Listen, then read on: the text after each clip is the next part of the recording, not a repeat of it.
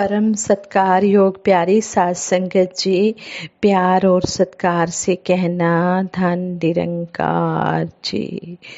अरदास से करते हाँ चोली सब दे पर दे इंसान को दुनिया दे, दाता सब नु सुखी कर दे सबके भले की कामना करते हुए दासी, विचार रूप में आशीर्वाद लेने जा रही है। सतगुरु निरंकार दातार सास संगत माँ का आशीर्वाद दासी को मिलता रहे और जो भी दासी आप जी के चरणों में बैठकर सीख रही है, इसे आप जी के चरणों में अंतिम श्वासों तक सीखती रहे। भक्ति क्या है? इसके बारे में हमें बताया गया है कि संसार में हर कोई ईश्वर की भक्ति, पूजा अपने अपने ढंग से कर रहा है। शहनशाह बाबा अवतार सिंह जी महाराज ने संपूर्ण अवतार बानी के माध्यम से भक्ति का सही ढंग समझाते हुए कहा है भक्ति लोकी अजय न समझे रब ਨੂੰ ਪਾਣਾ ਭਗਤੀ ਏ ਛੱਡ ਕੇ ਸਾਰੇ ਵਹਿਮ ਭੁਲੇਖੇ गुरु जाना भक्ति है शहनशाह जी ने कहा है कि जिस परमात्मा की भक्ति करनी है, उसकी जानकारी प्राप्त करना भी ज़रूरी है। और यह जानकारी समय के सतगुरु द्वारा ही हमें मिलती है। ईश्वर निराकार है और जानने योग्य है। प्रभु को जानकर ही भक्ति शुरू होती है। भक्ति में विश्वास, वैराग्य और समर्पण का भाव होना ज़रूरी है। आज सारा संसार भक्ति कर रहा है, पर बिना जाने भक्ति कर रहा है।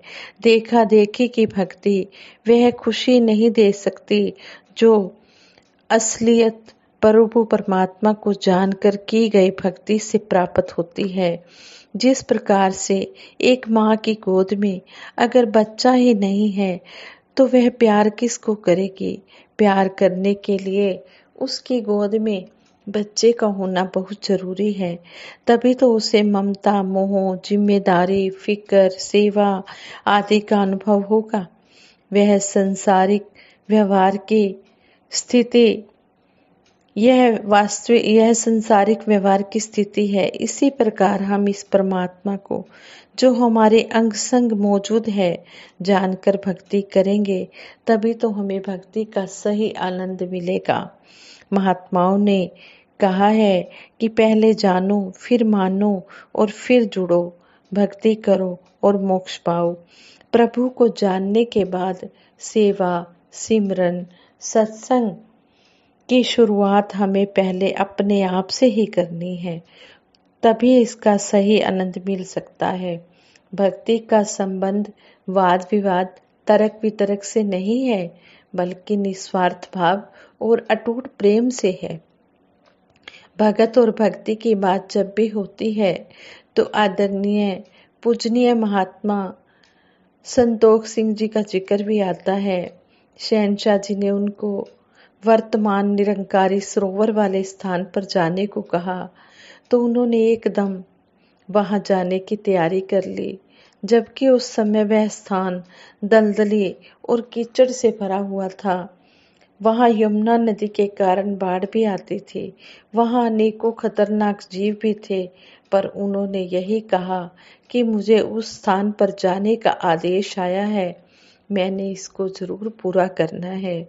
इस प्रकार गुरु के आए हुए वचन को मानकर कदम रखे गए तो वह स्थान भक्ति और आनंद का स्थान बन गया है। आज निरंकारी सरोवर के उस स्थान को कितनी लोकप्रियता प्राप्त है। निरंकारी सरोवर पर हज़ारों लोग डेली आते हैं, सरोवर में स्नान करते हैं और दिव्य यात्रा संग्रहालय का आनंद लेते हैं। जिज्ञासुओं को ब्रह्म ज्ञान प्राप्त होता है, जीवन मुक्ति का साधन मिलता है। आज सतगुरु माता सुदीक्षा जी महाराज संसार को मन, वचन, कर्म से भक्ति में जीवन जीने का सही रास्ता सिखा रहे हैं। वे इस बात को कर्म में ढालकर दिखा रहे हैं कि किस प्रकार ज्ञान कर्म में ढल जाए तो जीवन का श्रृंगार बनता है।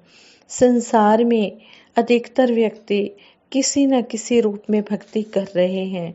भक्ति का अर्थ है प्रभु का लगातार एहसास करना। यह मानव की अंदर की स्थिति है। इसे हर पल महसूस किया जा सकता है। संतों महापुरुषों ने इसी एहसास की तीव्रता के कारण प्रभु परमात्मा को कण कण में महसूस किया है। संसार में सभी के लिए भक्ति ज़रूरी है। प्रभु भक्ति प्रभु को जानकर ही सफल होती है। जब तक प्रभु को जाना नहीं, सतगुरु से ब्रह्म ज्ञान की दीक्षा नहीं ली, तब तक भक्ति भी तब तक भक्ति भी नहीं कर सकते। ईश्वरीय ज्ञान को ब्रह्म ज्ञान कहा जाता है। इसे पाना मानव जीवन का लक्ष्य है। सतगुरु निरंकार प्रभु का ज्ञान देकर संसार में व्यापत अज्ञानता के अंधेरे को दूर करता है। सतगुरु की कृपा से ज्ञान की प्राप्ति होती है। ज्ञान से प्राप्ति का आनंद मिलता है। भक्ति साधन नहीं साध्य है, रास्ता नहीं मंजिल है। भक्ति में केवल समर्पण हुआ करता है। भक्ति से मनुष्य को आत्मिक शांति मिलती है। भक्ति भक्ति से सबर संतोष आता है। व्यक्ति के अंदर मिठास आती है, प्रेम आता है, करुणा आती है, नम्रता आती है, सहनशीलता आती है, उदारता आती है, विशालता आदि गुण आते हैं। भगत समर्पित भाव से इस संसार में रहता है। भगत जानता है कि प्रेम करो तो मीरा की तरह इंतज़ार करो तो शबरी की तरह भगत तो भी ऐसे ही समर्पित भाव से युक्त रहता है। महात्मा भूपेंद्र बेकल जी कहते हैं, हे देव, समर्पित कर पाऊँ। हर श्वास तुम्हारे चरणों में दृढ़ से दृढ़तर होता जाए। विश्वास तुम्हारे चरणों में। ये है भक्ति। भक्ति का अर्थ समर्पण है। अपने आप को सतगुरु के चरणों में सरेंडर कर देना, समर्पित कर देना, तभी भक्ति होती है। भक्ति लोकी अजे न समझे, रब नु पाना भक्ति है छड़ के सारे वहम भुलेखे।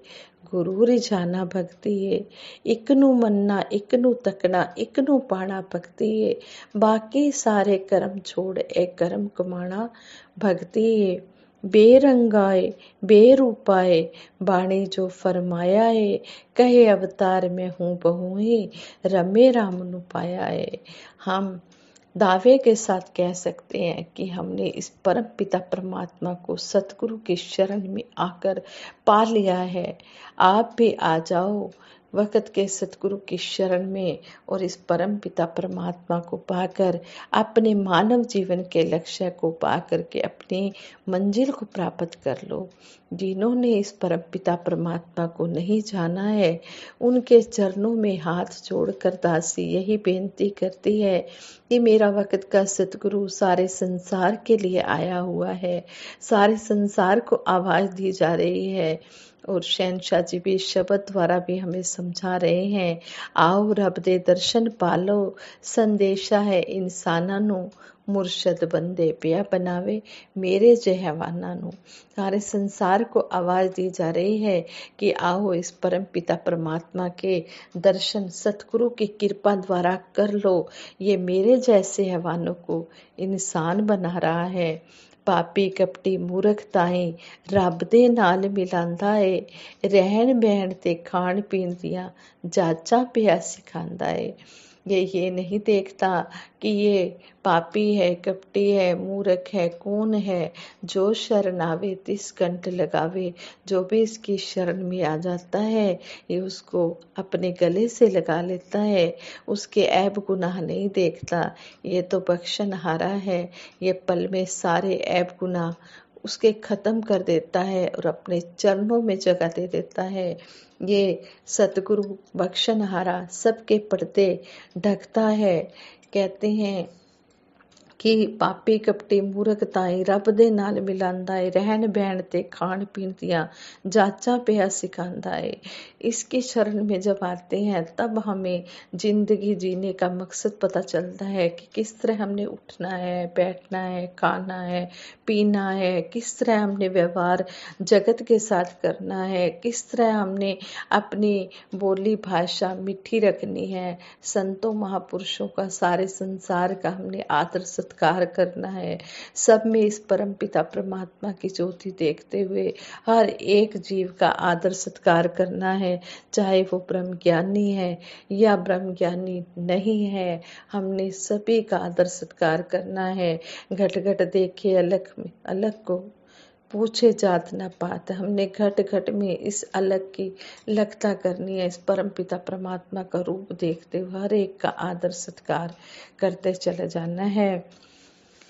कहते हैं कि कहे अवतार है, समा सुहाना रब, रोनु रब मिलांदा है। यह बहुत ही अमोलक समय हमें सतगुरु निरंकार दातार की कृपा से मिला है।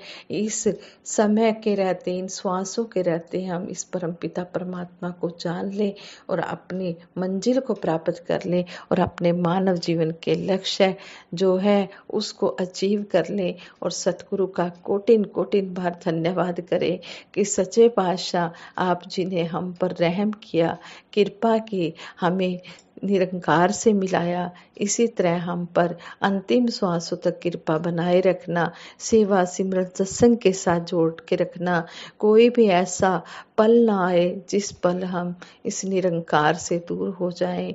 हर पल इसका एहसास हमारे मन में बना रहे हम हर पल यही अरदास करें कि हे सच्चे बादशाह जिस तरह आप जी ने जोड़ा है इसी तरह हमें जोड़ के रखना ਸਾਰੇ ਸੁਖ ਦੁਨੀਆ ਦੇ ਪਾਦੋ ਸਾਡੀ ਝੋਲੀ ਵਿੱਚ ਫਿਰ ਵੀ ਮਿਲਾਈ ਰੱਖਣਾ ਸੰਤਾਂ ਦੀ ਟੋਲੀ ਵਿੱਚ ਸਾਧ ਸੰਗਤ ਜੀ ਪ੍ਰੇਮ ਸੇ ਕਹਿਣਾ ਧੰਨ ਨਿਰੰਕਾਰ ਜੀ